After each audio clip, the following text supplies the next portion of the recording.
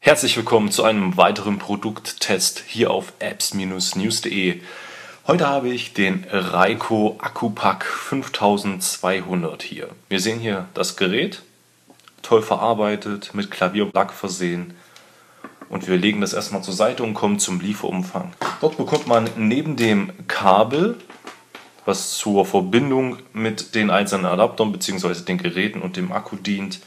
Insgesamt sieben verschiedene Adapter für sämtliche Herstellergeräte mitgeliefert. Ebenso noch einen Netzadapter, ein tolles Handbuch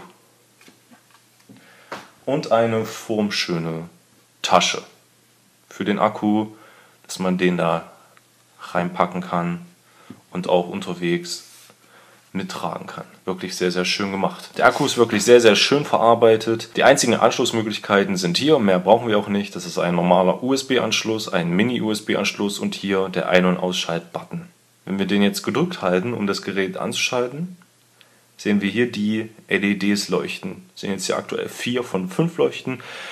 Diese vier LEDs, die gerade leuchten, signalisieren den Akkuzustand. So, wir haben jetzt den Raiko Akku eingeschaltet. Wir haben das USB-Kabel mit dem iPhone-Adapter verbunden und stecken das nun mal an das iPhone. Und wir sehen jetzt, dass es beginnt zu laden.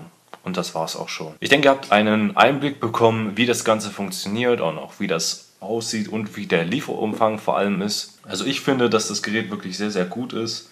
Man kann dann das Smartphone je nach äh, Hersteller auch sehr, sehr oft aufladen und das funktioniert alles tadellos. Ich bitte euch noch in den Artikel zu schauen zum Raiko Akkupack 5200, um da noch mehr weitere Informationen zu bekommen. Ich bedanke mich fürs Zusehen und wünsche noch einen schönen Tag.